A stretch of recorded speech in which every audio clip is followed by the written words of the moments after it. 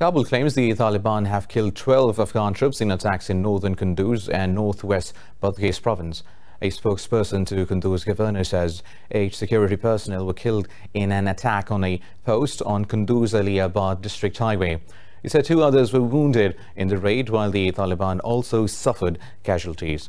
Meanwhile, Badghis governor's spokesperson said four soldiers were killed in clashes with the Taliban, claiming responsibility for Kunduz attack. Taliban spokesperson Zabihullah Mujahid said the group also destroyed two tanks of the Afghan forces.